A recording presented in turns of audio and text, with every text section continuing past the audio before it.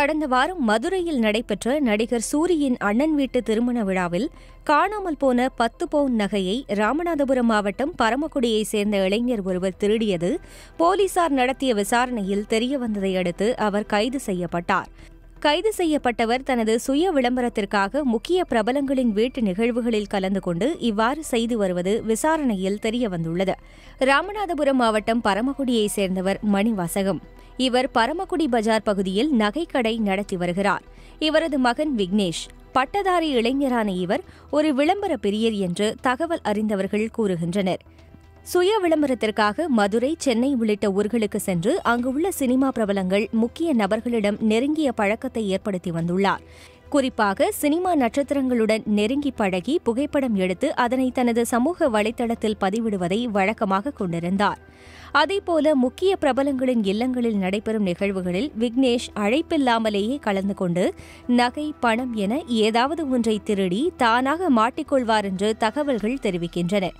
செய்தித்தாள் மற்றும் ஊடகங்களில் இவரது திருட்டு சம்பந்தப்பட்ட செய்திகள் வெளியாவதை சேகரித்து விளம்பரத்திற்காக அதனை அவரது சமூக வலைதளங்களில் பதிவிட்டு விளம்பரம் தேடிக்கொள்வார் என்றும் சொல்லப்படுகிறது.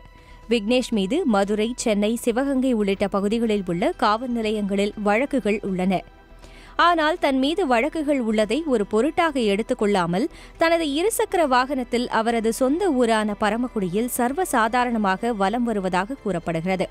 சமீபத்தில் நடிகர் சூரி மற்றும் அவரது குடும்பத்தினருடன் நெருக்கமாக பழகி அந்த புகைப்படங்களை சமூக வலைதளங்களில் பதிவிட்டார். இந்த நிலையில் மதுரையில் நடைபெற்ற நடிகர் சூரியின் அண்ணன் மகள் திருமண விழாவில் பத்து பவுன் நகை திருடு போனது.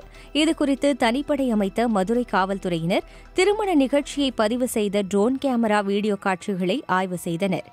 அதில் விக்னேஷின் செயல்பாடுகள் காவல்துறையினருக்கு சந்தேகத்தை ஏற்படுத்தியது. இதுகுறித்து விசாரிக்க மதுரை தனிப்படை போலீசார் பரமக்குடியில் உள்ள விக்னேஷின் வீட்டிற்கு திங்கட்கிழமை இரவு சென்றனர்.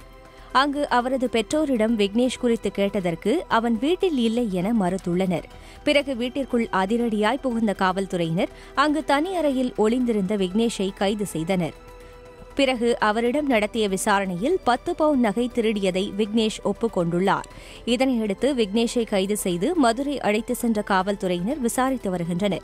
நன்கு வசதியான குடும்பத்தில் வசதியாக வாழ்ந்து வரும் விக்னேஷ் பொழுதுபோக்கிற்காகவும் தனது சுய விளம்பரத்திற்காகவும் இதுபோன்ற திருட்டு சம்பவங்களில் ஈடுபடுவது பரமக்குடி மக்களிடையே ஆச்சரியத்தை ஏற்படுத்தியுள்ளது.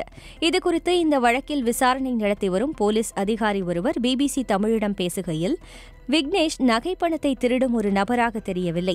இவர் தன்னுடைய சுய விளம்பரத்திற்காக கடந்த காலங்களில் இவ்வாறு பல இடங்களில் நகைகளை திருடி மாட்டிக்கொண்டுள்ளார் குற்றம் குறித்து செய்தித்தாள்களில் வரும் போட்டோக்களை சமூக வலைதளத்தில் பரப்பி அதிலும் விளம்பரம் தேடும் ஒரு நபராக இருந்துள்ளார்.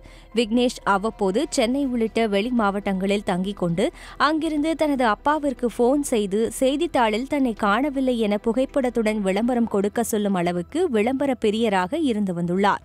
ஒரு கட்டத்தில் விக்னேஷின் பெற்றோருக்கு விக்னேஷின் நடவடிக்கைகளில் சந்தேகம் ஏற்பட்டு மனநல மருத்துவமனைக்கு அழைத்து சென்று மருத்துவர்களால் ஆலோசனை வழங்கப்பட்டது விசாரணையில் தெரியவந்துள்ளதாக காவல் அதிகாரி மேலும் தெரிவித்தார்.